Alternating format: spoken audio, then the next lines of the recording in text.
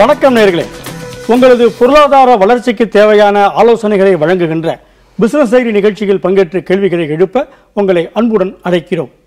சூழ்ச்சி முடிவு துணிவெய்தல். அத்துணிவு தாழ்ச்சியில் தங்குதல் தீது என்கிறது திருக்குறள்.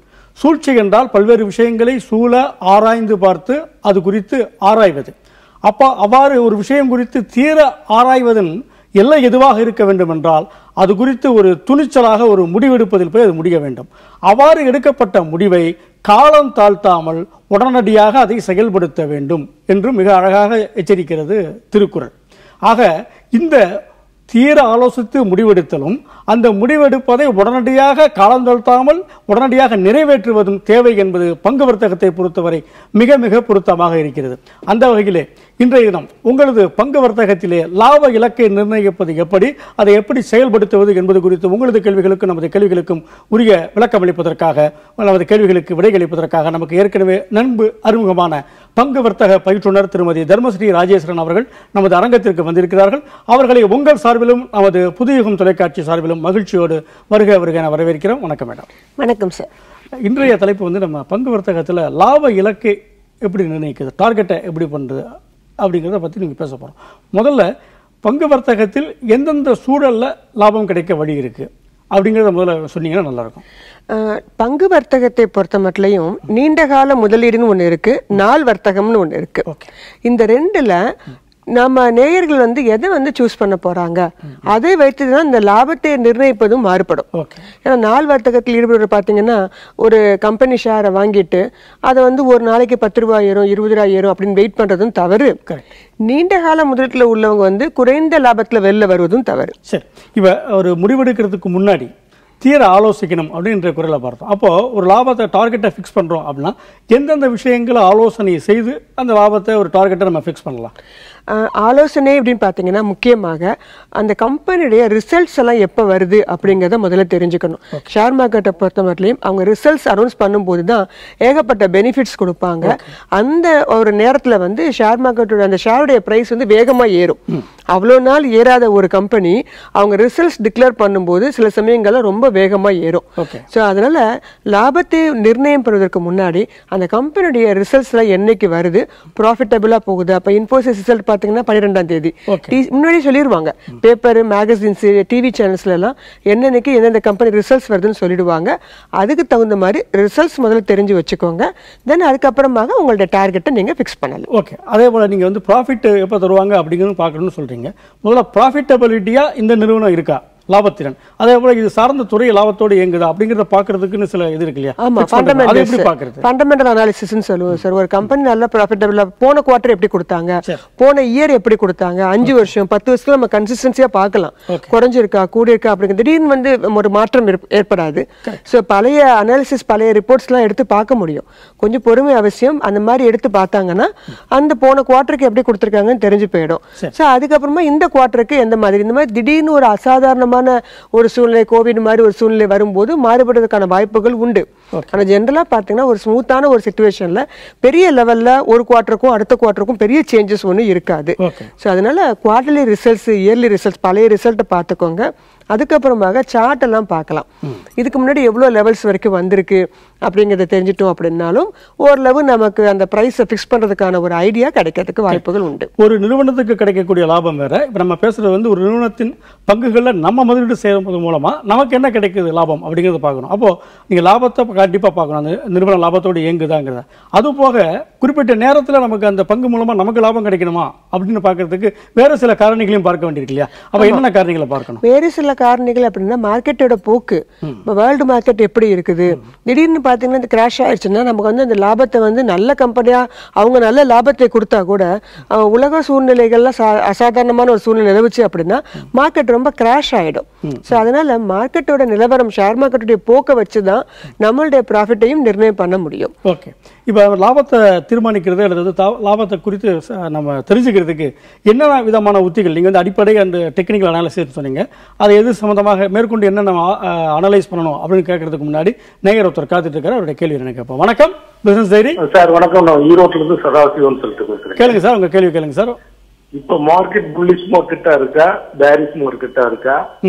ரெசிடென்ஸ்ல மேல எவ்வளவு இருக்கும் கீழே எவ்வளவு இருக்குங்கிறது தெரிஞ்சுக்கலாம் ஓகே மேல லெவல் என்ன கீழே கட்டானா என்ன லெவல் இருக்குன்னு தெரிஞ்சுக்கலாம் ரைட் இப்போ ஏற்கனவே நீங்க வந்து பங்கு முதலீடு பண்ணிட்டு இருக்கீங்களா இல்ல பண்ணி பண்ணிட்டு இருக்கேன் முன்னீடு கால முதலீடா பண்ணிட்டு இருக்கேன் ஓகே நீண்ட காலம் இருக்கு ப்ராஃபிட் புக் பண்ணிட்டு வெளியில வந்துடலாமான்னு இருக்கா சரி. என்ன வாங்கியிருப்பீங்க வச்சிருக்கீங்க அப்படிங்கிற தகவல் சொல்ல முடியுமா? சொல்லலாம். ஆர் ஆர் ஆர்ஐஎல் ஹிண்டால்கோ ஆ நிறைய ஒரு எலக்ட்ரிசிட்டி ஓகே ரைட்டுங்க இப்போ உங்களுக்கு தேவை பொதுவாக மார்க்கெட்டோடைய போக்கு எப்படி இருக்கு அப்படின்னு கேட்குறீங்க ரொம்ப அருமையான கேள்வி. முதல் கேள்வி ரொம்ப முத்தான கேள்வியா இருக்கு. உங்களுக்கு தேவையான பதில நிபுணர் சொல்லுவாங்க. சொல்லுங்க மேடம் ஏன்னா செகண்ட் வேவ் ஆரம்பிச்சிருக்கு அப்படின்னு சொல்லும்போது அடுத்து லாக்டவுன் ஆரம்பிக்குமா? அடுத்து எந்த மாதிரி ஒரு பிரச்சனை வரும் அப்படிங்கிறது ஒரு ஷேர் மார்க்கெட்டில் இன்வெஸ்டராக இருக்கவங்களுக்கு ஒரு பெரிய ஒரு கேள்விக்குறியாக தான் இருக்கும். இதை ஓரளவு வந்து கணிக்க முடியும் மற்ற ரெக்கார்ட்ஸை வச்சு. அதுபடி பார்த்தீங்கன்னா நிஃப்டியோடைய ரெசிஸ்டன்ஸ் லெவல் பார்த்தீங்கன்னா சார் பதினஞ்சாயிரம் பாயிண்ட்டு நிஃப்டியை பொறுத்த மட்டும் அது ரொம்ப இறங்கி கீழே போனால் கூட உங்களுக்கு சப்போர்ட் லெவல் அப்படின்னு பார்த்தீங்கன்னா பதிமூணாயிரத்தி ஐநூறு அந்த லெவலுக்கு கீழே இறங்காது. ஓகே. அதுக்கப்புறமா இது கீழே இறங்குறதுக்கான வாய்ப்புகள் கம்மி. ஆனால் ப்ரெசன்ட் சுச்சுவேஷன் என்னன்னு பார்த்தீங்கன்னா அடுத்தடுத்து உங்களுக்கு கம்பெனியோட ரிசல்ட்ஸ் அனௌன்ஸ் பண்ணுறாங்க இந்த வேக்சினுடைய போக்கு எப்படி இருக்குது நம்மளுடைய அந்த கொரோனாவால் பாதிக்கப்படுறவங்களுடைய எண்ணிக்கை குறைவாக ஆகும் பட்சத்தில் மார்க்கெட் இறங்குவதற்கான வாய்ப்புகள் கம்மி. ஓ. ஸோ அதனால ரிசல்ட் அடுத்து ஏப்ரல் பதினஞ்சு பன்னெண்டுலேருந்து ரிசல்ட்ஸை வச்சு ஹெச்டிஎஃப்சி ரிலையன்ஸ் எல்லாமே ரிசல்ட் கொடுப்பாங்க. கிட்டத்தட்ட ஒரு பெரிய கம்பெனி எல்லாரும் கொடுப்பாங்க. ஸோ அதனால பெரும்பாலும் இறங்குவதற்கான ஃப்ளக்சுவேஷன் இருக்கும். இந்த பதினாலாயிரத்தி முந்நூறுலேருந்து பதினஞ்சாயிரத்தி முந்நூறு இந்த ரேஞ்சுக்குள்ளேயே ட்ராவல் ஆயிட்டு இருக்கும். சரி. அப்போ இப்போ வந்து இறங்குவதற்கான வாய்ப்புகளும் இருக்கு இல்லையா? இப்போ ரொம்ப உஷாரா இருக்கிறவங்க ஏற்கனவே முதலீடு செஞ்சவங்க அவங்களோட லாபத்தை பதிவு வெளியே வெளியில வந்துடணுமா? ப்ராஃபிட் புக்கிங் சொல்லுவாங்க இல்ல என்ன பண்ணணும் அவங்க? அவங்க ஓரளவு அந்த சொன்னேன் சார் ரிசல்ட் முடிஞ்சோன்னு முடிஞ்சோன்னு அந்த எந்த இப்போ ஹிண்டால்க்கு வச்சிருக்கேன்னு சொல்றாரு சார். ரிலையன்ஸ் வச்சிருக்கேன்னு சொல்றாரு. அந்த ரிசல்ட் முடிஞ்சோடனேயே ஒரு பாதியவாவது சேல் பண்ணிக்கிறது நல்லது. இப்போ நூறு ஷேர் வச்சிருக்காங்கன்னா ஒரு ஐம்பது ஷேர் மாதிரி கொடுத்துருங்க. அடுத்து இந்த மாதிரி ஏதாவது பெரிய பிரச்சனை வந்து மறுபடியும் இறங்கக்கூடிய சுச்சுவேஷன் வந்துச்சுன்னா திருப்பி ஐம்பது ஷேர் நம்ம வாங்கிக்கலாம். அப்படி வரல மார்க்கெட் மூல தான் இருக்குன்னா திருப்பி ஃப்ரெஷ்ஷாக போய் நம்ம வாங்கிக்கலாம். ஏன்னா இப்போ நீங்கள் சொல்கிற மாதிரி இந்த ஒவ்வொரு சுணக்கத்திலையும் அல்லது ஒவ்வொரு ப்ராப்ளம் ஏற்படும் பொழுதுமே அதை வந்து முதலீட்டுக்கான வாய்ப்பாக நிறைய சிறந்த முதலீட்டாளர்கள் கருதுறாங்க. அதை எப்படி எதுக்கு எப்படி அது வந்து சிறந்த முதலீட்டுக்கான வாய்ப்பு அப்படின்னு நீங்கள் கொஞ்சம் விளக்கம் சொல்லுங்களேன். ஒவ்வொரு மார்க்கெட் வந்து ரொம்ப டவுன் ஆகும்போது அது வந்து ஒரு சிறந்த முதலீட்டுக்கான ஒரு வாய்ப்பு தான் ஏன்னா வந்து உங்களுக்கு நல்ல கம்பெனி ரேட்ல வந்து ரொம்ப லோயர் ரேட்ல கிடைக்கும். இதுக்கு முன்னாடி ரொம்ப பீக்ல இருந்தவங்க எல்லாமே கொஞ்சம் கம்மியான ரேட்ல கிடைப்பாங்க. ஆனா இப்பெல்லாம் பார்த்தீங்கன்னா திடீர்னு பார்த்தீங்கன்னா டாடா ஸ்டீல்லாம் பார்த்தீங்கன்னா இந்த காலகட்டத்திலேயே கடந்த ஒரு மாசத்துக்குள்ளேயே அவ்வளோ ரேட் ஏறி இருக்கு சரிங்களா? பிரச்சனை அதிகமா இருந்துக்கக்கூடிய ஒரு காலகட்டத்துல கூட ஏறிட்டு தான் இருக்கு அதனால போன தடவை எதிர்பார்த்த அளவுக்கு ஒரு பெரிய மார்க்கெட் கிராஷை இந்த முறை எதிர்பார்க்க முடியாதுங்கிறது என்னுடைய ஒரு தாழ்மையான கருத்து. கரெக்ட் ஏன்னா நீங்கள் சொன்ன மாதிரி நிஃப்டி எல்லாம் பாதிக்கு பாதி போச்சு சார். இந்த அளவு இந்த முறை அந்த அளவுக்கு பாதிப்புகள் வராது அப்படின்னு எதிர்பார்க்கிறேன். முன்னாடி கொஞ்சம் உஷாரா இருக்காங்க ஏன்னா போன தடவை உலக மார்க்கெட்டுகள்லாம் ரொம்ப பிரச்சனையாச்சு இந்த முறை உலக மார்க்கெட்டுகள்லாம் பிரச்சனை ஆகல. இந்தியாவில் மட்டும்தான் நிறைய பிரச்சனைன்னு சொல்லிட்டு இருக்காங்க. உலகத்துல மத்த Nikkei market Dow Jones Nasdaq இவங்கெல்லாம் பரவாயில்லாம போயிட்டு இருக்கிறதுனால அதோடைய தாக்கம் இங்க இருக்கிறதுனால தான் மார்க்கெட்டை ரொம்ப கிராஷ் பண்ண விடாம தாங்கி பிடிச்சிட்டு இருக்கு ஓகே. இப்போ இது மாதிரியான சூழல்ல நம்ம என்னென்ன விஷயம்? இப்போ லாபத்தை அறுவடை செய்கிறது அப்படின்னு வரும்பொழுது குறைந்த விலையில பங்குகளை வாங்கணும். அதற்கான வாய்ப்பாக அதை கருதலாம். ஆனால் மக்களுடைய என்னென்ன அப்படின்னா குறையும் பொழுது அவங்களுக்கு ஒரு பயமே வந்துடுது. அப்போது அந்த உடனே வித்துட்டு நஷ்டமானாலும் பரவாயில்ல வித்துட்டு வரேன் அப்படின்னு போயிடுறாங்க இல்லையா? அப்போது அதை தடுக்கணும்னா அவங்க முன்னேற்பாடாக என்னென்ன பண்ணணும்? மார்க்கெட் வந்து எப்போதுமே கீழே இறங்கிட்டு இருக்கும்போது தான் நீங்க சொன்ன மாதிரி பயம் வரும். எல்லாரும் வந்து வாங்கிட்டு இருக்கும்போது நீங்க வித்துருங்க. எல்லாரும் விற்கும் போது நீங்க வாங்குங்க. இதான் கான்செப்ட்னு சொல்லுவோம். ஸோ மார்க்கெட் வந்து ஷேர் மார்க்கெட்டை பொறுத்த மட்டும் உங்களுக்கு ரொம்ப ரேஞ்ச் கம்மியா கிடைக்கக்கூடிய நல்ல கம்பெனிகள் கிடைக்கும் போது தாராளமாக நீங்க பேனிக் ஆகாம வாங்கலாம். ஒருவேளை உங்களுக்கு மார்க்கெட் இறங்குங்கிற ஒரு எண்ணம் இருந்ததுன்னா நான் சொல்றபடி பிரிச்சு பிரிச்சு வாங்கிடுங்க. மொத்தமா எவ்வளவு இன்வெஸ்ட்மெண்ட் இருக்கோ ஐம்பதாயிரம் போட போறீங்களா இருபத்தஞ்சா பிரிச்சிருங்க. ஒரு பத்து நாள் இருபத்தஞ்சாயிரம் இறங்கும் போது வாங்கலாம்னு சொல்லும் பொழுது எது சரியான விலை அப்படிங்கிறது? ஏன்னா இப்போ நீங்க சொல்லும்போது குறைந்த விலையில வாங்கி நிறைய விலையில விற்கிறதா லாபம் ஈட்டுவதற்கான ஒரு அடிப்படை விஷயம். அப்ப இதுதான் குறைவான விலை அப்படிங்கிறத தீர்மானிக்க முடியல. அப்ப எந்த வகையில அது வந்து நீங்க சார்ட் எல்லாம் பாத்தீங்கன்னா சார் தீர்மானிக்க முடியும். சப்போர்ட் லெவல் இப்ப கேட்டாங்க பாத்தீங்களா அந்த இடத்துல டிமாண்ட் ஏற்கனவே அந்த இடத்துல வந்து அதுக்கப்புறமா ஏற ஆரம்பிச்சிருக்கோம். ஸோ டபுள்யூ ஷேப் ஃபார்ம் ஆயிருக்கு அப்படிலாம் சொல்லுவோம். அந்த டிமாண்டை வச்சு கண்டுபிடிச்சிடலாம். பங்கு வர்த்தக பயிற்றுனர் திருமதி தர்மஸ்ரீ ராஜேஸ்வரன் அவர்களுடன் உரையாடி கொண்டிருக்கிறோம். ஏற்கனவே ஒரு நேயர் கேட்டிருந்தாரு அது சம்பந்தமான விளக்கத்தை கொடுங்களேன். இடிஎஃப் அப்படிங்கிறது எக்ஸ்சேஞ்ச் ட்ரேடட் ஃபண்டு அது வந்து பாரத் டுவெண்ட்டி டூ அப்புறம் மோத்திலால் ஆஸ்வருடைய ஃபண்டு எஸ்பிஐ மியூச்சுவல் ஃபண்டு கோல்டுலையும் இருக்கு. கோல்டு இடிஎஃப்பும் இருக்கு. நார்மலாக ஷேர் மார்க்கெட்டில் இன்வெஸ்ட் பண்ணக்கூடிய இடிஎஃப்பும் இருக்கு. அஹ் இவங்களுக்கு வந்து மியூச்சுவல் ஃபண்ட் மாதிரி இது ஒரு யூனிட் மியூச்சுவல் ஃபண்ட்ங்கிறது ஒரு ஃபண்ட் மேனேஜர் நிர்வாகம் பண்ணுவார். அது என்ஏவி அப்படி தனியாக போயிடும். இது வந்து எக்ஸ்சேஞ்சில் ட்ரேட் ஆகக்கூடிய ஒரு ஃபண்டு நிறைய பெரிய நிறுவனங்களுடைய ஒரு தொகுப்புன்னு வச்சுக்கலாம். அதாவது ஒரு தனிப்பட்ட ஒரு ஷேரா இல்லாம ஒரு துறை சார்ந்த பல்வேறு பல்வேறு நிறுவனங்களுடைய நிறுவனங்கள் தொகுப்பு.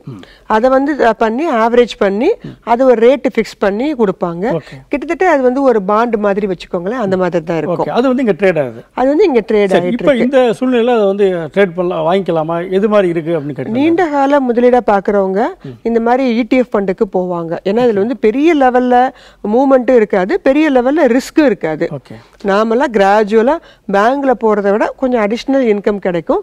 ப்ளஸ் இங்கே வந்து என்ன ஒரு அட்வான்டேஜ்னா டிவிடெண்ட் கிடைக்கும். ஓ. இந்த. டிவிடெண்ட் உண்டு. அதனால தான் இந்த எக்ஸ்சேஞ்ச் ட்ரேடட் ஃபண்டு வாங்கலாமான்னு சில பேர் யோசிப்பாங்க. இண்டெக்ஸ் ஃபண்டும் இந்த வகையை சேர்ந்தது தானா இண்டெக்ஸ் ஃபண்டுங்கிறது வேற. இது போல பாண்டு பாண்டு மாதிரி. இது பாண்டு ஓகே ஸோ பாண்ட்ஸ்னு சொல்லுவோம். பாரத் பாண்ட் அப்படின்னு சொல்லுவாங்க. பாரத் டுவெண்ட்டி டூ பாண்டுன்னு ஒரு புதுசாக லேட்டஸ்ட் piece அது மாதிரி. அந்த மாதிரி தான். கோல்ட் பீஸ் அந்த மாதிரி. ஸோ தனிப்பட்டமா ஒரு இதை போய் வாங்காம ஒரு குரூப்பா ஒரு ஆர்கனைஸ்டா உள்ள ஒரு இதை சேர்த்து வாங்குறதுக்கு பேர் தான் இந்த இடிஎஃப்னு சொல்லுவாங்க. ஓகே இதுல சின்ன லெவல்ல கிடைக்கக்கூடிய முப்பத்தி ரெண்டு ரூபா அந்த ரேஞ்ச்ல கிடைக்கக்கூடிய இடிஎஃப் இருக்கு. ஆயிரம் ரூபாய் ரேஞ்ச் கிடைக்கக்கூடிய இடிஎஃப்பும் இருக்கு. இதை ஒரு நிறுவனங்கள் வந்து நிர்வகிக்கும். ஆதித்யா பிர்லா மோதிலால் ஆஸ்வால் எஸ்பிஐ அந்த மாதிரி ஒரு நிறுவனங்கள் வந்து மேற்பார்வையில் இதை வந்து பண்ணிட்டு இருப்பாங்க ஸோ இதை வந்து ஒரு ரொம்ப பயப்படுறவங்க ரொம்ப பேனிக் ஆகிறவங்க இல்லை ரொம்ப மார்க்கெட் ரொம்ப ஏஜ்டாக இருக்கவங்க இவங்க எல்லாருக்கும் இந்த இடிஎஃப் அப்படிங்கிறது சேஃப்டியா இருக்கும் கொஞ்சம். சேஃப்டியான ஒரு முதலீடு. ஓகே. இப்போ ஏற்கனவே கேட்டோம். ஒரு லாப இதை தீர்மானிக்கக்கூடிய டெக்னிக்கல் அனாலிசிஸ் எப்படி இருக்கணும்? அந்த புத்தியை சொல்லுங்களேன். டெக்னிக்கல் அனாலிசிஸை பொறுத்த மட்டும் இப்போ நீங்கள் லாங் டேர்முக்கு ஒரு ஷேர் வாங்கி வைக்கிறீங்க அப்படின்னா அதுக்கு முந்தின லெவல் சப்போர்ட் லெவல் எங்கே இருந்துச்சு? எந்த லெவல் வரைக்கும் கீழே இறங்கி இருந்தது? எதுக்கு மேலே ஏற ஆரம்பிச்சது? தட் இஸ் சப்போர்ட் லெவல் அதே மாதிரி எந்த லெவலுக்கு போன பிறகு இறங்க ஆரம்பி போன தடவை இதுக்கு முந்தின மூணு மாசம் முன்னாடி எந்த லெவலில் ரீச் ஆகும்போது இறங்க ஆரம்பிச்சிச்சு. இப்போ மறுபடியும் அதே லெவலை தாண்டி கட் பண்ணி மேலே போனா இன்னும் ஃபர்தரா போகும். அப்படி இல்லைன்னா மறுபடியும் ஒரு டவுன் ட்ரெண்டை எதிர்பார்க்கலாம். ஸோ பழைய சார்ட்டை வச்சு ஓரளவு கெஸ் பண்ண முடியும் இந்த லெவல்ஸ் அப்படிங்கிறத. ஓகே அப்படி லாபத்தையும் அப்படி வச்சு தான் சார் புக் பண்ணுவோம். சரி அப்போ அதை செயல்படுத்தணும். ஏன்னா எக்ஸிக்யூட் பண்ணணும். ஏற்கனவே சொன்ன மாதிரி ஒரு டிசைட் மட்டும் பண்ணால் போறாது. அப்போ எக்ஸிக்யூட் பண்ணுறதை எப்படி எக்ஸிக்யூட் பண்ணணும்? அதாவது அதுலேயும் ரெண்டு வகை இருக்குது நீங்கள் சொன்ன மாதிரி நீண்ட கால முதலீட்டாளர்கள் வந்து செயல்படுற விதம் வேற மாதிரி இருக்கும். இவங்க டே வர்த்தகர்கள் தின வர்த்தகர்கள் வந்து செயல்படுற விதம் வேற மாதிரி இருக்கணும். ஏன்னா அதை எப்படி செயல்படுத்தணும்னு சொல்லுங்களேன். நீண்ட கால முதலீட்டில் இருக்கிறவங்க அவங்க இன்வெஸ்ட் பண்ண அமௌண்ட்ல இருந்து ஒரு இருபது பர்சன்டேஜ் ரிட்டர்ன் வரும்போது அவங்க அதுல பாதி ஷேரை கொடுத்துட்டு மீதியை வச்சுக்கிறது நல்லது. இல்லை அந்த பாதி ஷேரை எனக்கு கொடுக்க வேண்டிய பெரும்பாலும் நேயர்களுக்கு எப்படி இருக்குதுன்னு கேட்டிங்கன்னா அது அதை கொடுக்கறதுக்கான ஒரு சுச்சுவேஷன் அமையறது இல்லை. அவங்க எப்போ கொடுக்கலாம்னு நினைக்கிறாங்களோ அப்போ மறுபடியும் இறங்கி வந்துடும் இதுதான் பெரும்பாலான பிரச்சனை. பண தேவை இருக்கும்போது அது வந்து ரொம்ப அப்போதைக்கு அந்த ரேட்டு பீக்கில் இருக்கும். இவங்க என்ன பண்ண மாட்டாங்க? கொடுக்க மாட்டாங்க. தேவை ஏற்படும் போது பாதிக்கு பாதியா இறங்கி வந்துடும் ஸோ இந்த சூழ்நிலையை தவிர்ப்பதற்கு எப்போதுமே ஒரு நம்ம வந்து ஒரு ஷேர் வாங்கி வச்சிருக்கோம் அப்படின்னா எத்தனை வருஷம் வச்சுக்க போறோம்? ஒரு வருஷம் வச்சுக்கலாம் போறோமா? ரெண்டு வருஷம் வச்சுக்க போறோமாங்கிறத முதல்ல முடிவு பண்ணணும். தேவைக்கு ஏத்த மாதிரி ஒரு கோல் வச்சுட்டு பண்ணணும். ஒரு இருபது? எஸ் சார் ஒரு இருபது பர்சன்டேஜ் ரிட்டர்ன் வந்தா ஒரு பாதி ஷேரையாவது கொடுத்துட்டீங்கன்னா நல்லது. ஆனா அதுக்கப்புறம் கொடுத்த பிறகு இன்னும் ஏறுதே. சே கொடுக்காம இருக்கலாமே அப்படிங்கிறது தான் பெரும்பான்மையோட எதிர்பார்ப்பு. நீங்க கொடுத்த பிறகு ரேட்டு ஜென்ரலா ஏறுதுன்னா நம்மகிட்ட தான் இன்னும் கொஞ்சம் ஷேர் இருக்கு. அதனால அது அதை பத்தி நீங்க யோசிக்க வேண்டாம். திருப்பி இறங்கும் போது அதே மாதிரி தான். எந்த இடத்துல வாங்கணும் எந்த இடத்துல விற்கணுங்கிறதுக்கெல்லாம் கால்குலேட்டர்ஸ்லாம் இருக்கு. அதெல்லாம் போட்டு பார்த்தீங்கன்னா ஓரளவு உங்களுக்கு ஒரு ஐடியா கிடைக்கும். இந்த லெவல் வரும்போது தான் திருப்பி வாங்கணும். கொஞ்சம் பத்து ரூபா இறங்கும்போது வாங்கியிருப்பாங்க. ஸோ அது மாதிரிலாம் இல்லாம கால்குலேட்டர் ஃபிபனான்சி கால்குலேட்டர் அப்புறம் Camarilla Woodie pivot point calculator மாதிரி நிறைய கால்குலேட்டர் இருக்கு. அந்த கால்குலேட்டர் மூலமா முடிவு பண்ணும்போது எந்த இடத்துல மறுபடியும் போய் வாங்கலாம் இல்லை எங்கே போய் கொடுத்துடலாம் இந்த மாதிரிலாம் நமக்கு ஒரு ஐடியா கிடைக்கும். ஆனா ஒரு சில பேர் பார்த்தீங்கன்னா ஐம்பது சதவீதம் நூறு சதவீதம் லாபம் கிடைச்சாலும் புக் பண்ண மாட்டாங்க. ஸோ அந்த மாதிரிலாம் இருக்கக்கூடாது. ஒரு ஐம்பது சதவீதத்துக்கு மேலே லாபம் உங்களுக்கு நீண்ட ஒரு வருஷம் ரெண்டு வருஷம் வச்சிருக்கீங்க. ஐம்பது சதவீதம் லாபம் கிடைச்சிருச்சா தாராளமாக ஒரு பாதி கம்ப பாதி ஷேரையாவது கொடுத்துருங்க. மீதி இருக்கிறது மட்டும் வச்சுக்கோங்க உங்களோட ஆசைக்காக. இந்த வித்தை வரதை வந்து நீங்க வேற ஒரு கம்பெனில என்ன பண்ணலாம்? புதுசு புதுசாக நிறைய கம்பெனி வருது. வேணும் இல்லையா? ஆமா சார் ஒரே நிறைய கம்பெனி வருது. அந்த கம்பெனில இன்வெஸ்ட் பண்ணுங்க. ஒரே கம்பெனி தான் ஏறணுமா என்ன? கரெக்ட் புதுசா வர கம்பெனிலையும் இன்வெஸ்ட் பண்ணுங்க.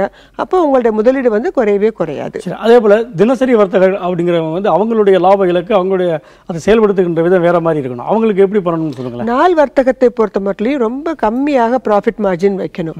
அவங்க வந்து அதிகமாக வந்து பைசையில தான் அவங்க ட்ரேடிங் பண்ணணும். இந்த சைடு வேல்யூமை ஏற்றணும் நம்பர் ஆஃப் ஷேர்ஸ் வாங்குறீங்க இல்லையா? அதை வந்து வேல்யூமை ஏற்றிட்டு. ப்ராஃபிட் மார்ஜினை ரொம்ப ரொம்ப கம்மியாக வைக்கணும். உங்களுடைய அந்த brokerage டாக்ஸ் அது எவ்வளோ வருங்கிறத கனெக்ட் பண்ணிக்கிட்டு அதுல இருந்து ஒரு கொஞ்சம் லாபம் வச்சாலே போதும். ஏன்னா நாள் வர்த்தகங்கிறது உங்களுக்கு அன்னைக்குள்ள முடிக்கணும். கண்டிப்பா. ஸோ உங்கள் டைம் ரொம்ப கம்மியாக இருக்கும்போது வித்தின் ஒரு ஒன் ஹவரில் ட்ரேடிங் பை செல் முடிச்சுட்டு வெளில வரணும் போது நீங்கள் அஞ்சு ரூபாய் ஏறணும் பத்து ரூபாய் ஏறலாம் வச்சீங்கன்னா கிடைக்கவே கிடைக்காது. அதனால மிக குறைந்த அளவில் அதுக்காக ஒரு ஆயிரம் ரூபாய் ஷேருக்கு ஐம்பது பைசா லாபமும் வைக்கக்கூடாது. So according to the companies நீங்கள் எந்த கம்பெனினா ஒரு ஒவ்வொரு எல்டிபியும் வித்தியாசப்படும். மார்க்கெட்டுடைய கரண்ட் மார்க்கெட் பிஹெச்எல் விலை ஐம்பது ரூபா. ஐம்பது ரூபா ஷேர் வாங்கிட்டு last trading பிரைஸா yes sir last trading price இல்லைன்னா கரண்ட் மார்க்கெட் பிரைஸ்னு சொல்லுவோம். பிஹெச்எல் வாங்குறவங்க ஐம்பது ரூபா ஒரு ஷேர் விலை. அதுக்கு அஞ்சு ரூபா லாபம் வைக்கக்கூடாது. அதுக்கு நீங்க மினிமம் ஒரு இருபது பைசா இல்லை ஐம்பது பைசா லாபம் வச்சாலே போதுமானது. இந்த சரி ஷேர் வாங்கும்போது நீங்க ஐநூறு ஷேர் ஆயிரம் ஷேர் அந்த மாதிரி வாங்கிட்டு எவ்வளவுக்கு எவ்வளவு லாபத்தை லாபத்தை லாபத்தை வைக்கணும்னு சொல்றீங்க இல்லையா? அப்ப தீர்மானிக்கும் பொழுது அதிகமாக சேலாகிற பங்கு அப்படிங்கிறத பார்க்கணுமா? இல்ல அதிக விலையுள்ள பங்கு அப்படிங்கிறத பார்க்கணுமா? எது எதுக்கு எப்படி ரேட்டை ஃபிக்ஸ் பண்ணணும்? உங்களுக்கு அந்த கம்பெனியுடைய கரண்ட் மார்க்கெட் பிரைஸுக்கு தகுந்த மாதிரி உங்களுடைய டார்கெட்டை நீங்க ஃபிக்ஸ் பண்ணணும். அதே வேல்யூம்ஸையும் பார்க்கணும் இல்லையா? சில சில இது வந்து அதிகமான. வேல்யூம் உங்களுக்கு உங்களுக்கு என்எஸ்சி இந்தியா வெப்சைட் எல்லாம் கொடுத்துருவாங்க. அதிகமா ஆக்டிவா எந்த கம்பெனி ட்ரேட் ஆகுது டாப் கெய்னர்ஸ் யாரு டாப் லாசஸ் யாரு இதெல்லாம் கொடுத்துருவாங்க. அந்த- வெப்சைட்ல போய் பார்த்துட்டு அந்த கம்பெனியை சூஸ் பண்ணிட்டு விரலுக்கு ஏத்த வீக்கம்னு சொல்லுவாங்க இல்லையா எங்கேயும் அதே மாதிரி தான். இதெல்லாம் முன்னாடி நிர்ணயிக்க முன்னாடி நீங்க சொல்றீங்க. என்னென்ன வெப்சைட் பார்த்துக்கலாம் என்னென்ன இதுல பார்த்தா என்எஸ்சி இந்தியா பிஎஸ்சி இந்தியா.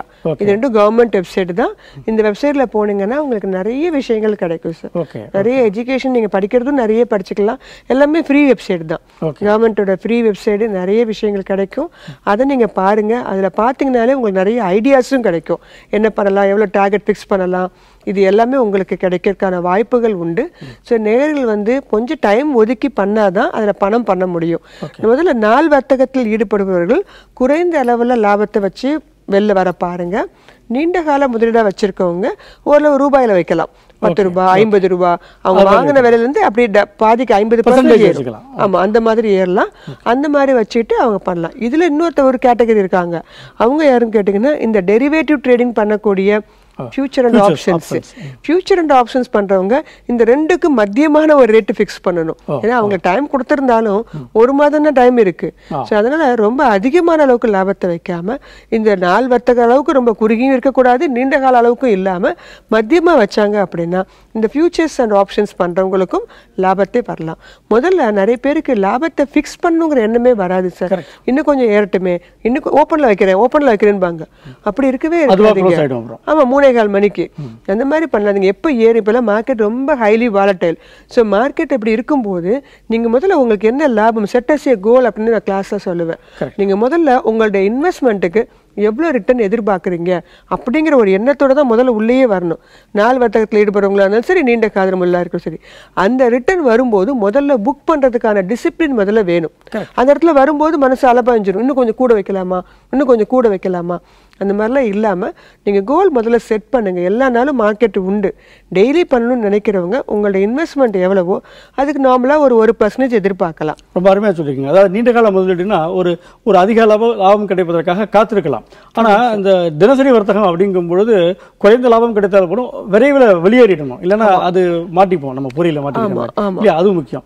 இந்த டெரிவேட்டிவ்ஸ் அண்ட் ஃபியூச்சர் ஆப்ஷன் அந்த மாதிரி போறவங்க ஃபியூச்சர்ஸ் அண்ட் ஆப்ஷன்ஸ் போறவங்க விஷயங்களை நிதானமா கொஞ்சம் பார்க்கணும். ஏன்னா முதல்ல இதெல்லாம் பார்க்கப்பட்டு போன பின்னாடி அதில் இறங்கினா நல்லது? அது ரொம்ப ஹை. ரிஸ்க் ஏன்னா இன்னொரு விஷயம் இருக்கு. எப்படி லாபம் லாபம்னு பேசிட்டு இருக்கோம். பகல்னு ஒன்று இருந்தால் அதுக்கு இரவுன்னு ஒன்று இருக்கும் மாற்று. அதே மாதிரி லாபம்னு பேசும்பொழுதே நஷ்டம்ங்கிற விஷயமும் அதில் ஒழிஞ்சுதான் இருக்கு. அப்போ நஷ்டத்தை எப்படி தெரிஞ்சுக்கலாம்? முதல்ல நஷ்டத்தை தவிர்த்தாலே ஒரு பெரிய லாபம் தான் இல்லையா? அப்ப நஷ்டத்தை எப்படி தவிர்க்கிறது? நஷ்டத்தை எப்படி முன்கூட்டி கணிக்கிறது? நீண்ட கால வர்த்தகத்தில் உள்ளவங்களுக்கு பிரச்சனையே இல்லை சார் அவங்களுக்கு நஷ்டம் என்பது கிடையாது. அவங்களுக்கு டைம் இருக்குது. அவங்க அடுத்த ஒரு மூணு மாசம் ஆறு மாசம் ஒரு வருஷம் கூட வச்சிருக்கலாம். வச்சிருந்து எப்ப ரேட் ஏறுதோ அப்போ கொடுத்துக்கலாம். அதுல பெருசா வந்து உங்களுக்கு நஷ்டம்ங்கிறது வராது.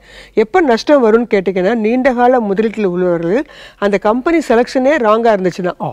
நல்ல கம்பெனியா சூஸ் பண்ணாம விலை ஏதோ- குறைவா இருக்குன்னு ஆ, வாங்கிடுவாங்க. அந்த மாதிரிலாம். ஃபண்டமெண்டல் ஸ்ட்ராங்கா இல்லாத கம்பெனியை வாங்குனாங்கன்னு வச்சுக்கோங்களேன். அதுல நஷ்டம் வந்துருச்சுன்னா அவ்வளவுதான். திருப்பி மீளவே முடியாது. சில பேர் அந்த கம்பெனியை பத்தி திரும்பியே பார்க்கறது இல்ல ஆமா. அதுப்பயும் வந்து உங்களுக்கு ஸோ லாங் டேர்ம்ல வாங்குறவங்க முதல்ல ஃபண்டமெண்டலா ஸ்ட்ராங்கா உள்ள கம்பெனியை வாங்கினாதான் அதுல பிரச்சனை வராது. ஆனா நாள் வர்த்தகத்துல ஈடுபட்டவர்கள் ஸ்டாப் லாஸ்ன்னு சொல்லக்கூடிய ஒரு விஷயத்தை கண்டிப்பா வச்சுக்கணும். லாபத்துக்கும் கோல் செட் பண்ற மாதிரி நஷ்டத்துக்கும் செட் பண்ணிக்கலாம். ஸோ அந்த ரெண்டையும் செட் பண்ணிக்கிட்டு தான் நாள் வர்த்தகத்தில் ஈடுபட்டால் தான் நீங்க தினசரி பண்ண முடியும். இல்லைன்னா ஒரு நாள் லாபம் ஒரு நாள் நஷ்டம் இந்த மாதிரி கணக்குல போயிடும். ஸோ நாள் வர்த்தகத்தில் ஈடுபடுபவர்கள் ஸ்டாப் லாஸ் வச்சுக்கணும். அதுக்கு உங்களுக்கு சில எக்ஸசைஸ் சில அனாலிசிஸ் சில கால்குலேட்டர்லாம் இருக்கு. நாள் வர்த்தகத்தில் ஈடுபடுபவர்களுக்கு அதை வச்சுக்கிட்டு அவங்க செட் பண்ணிக்கலாம். நீண்ட கால முதலீட்டில் உள்ளவர்களுக்கு அந்த மாதிரி ஸ்டாப் லாஸ்னு ஒரு விஷயம் கிடையாது. அவங்களாகவே அந்த வந்து வெளில வந்துடலாம் அந்த கம்பெனி நிர்வாகம் சரியில்லை பிரச்சனை ஆகுது அப்படின்னா அதையே வச்சிட்டு இருக்கணும். அதை சேல் பண்ணிட்டு வேறொரு கம்பெனில சுவிட்ச் ஆயிக்கலாம். சரி.